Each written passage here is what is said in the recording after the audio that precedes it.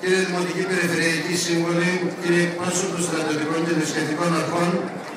κύριε Πρόεδρε Δημοτικών Κοινοτήτων, αγαπητοί προσκυνητές, παρακαλώ πολύ τους τρεις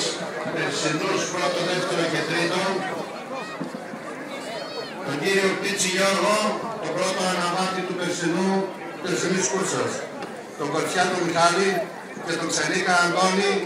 να προσέλθουν και να πάρουν την εικόνα για την περιφορά της.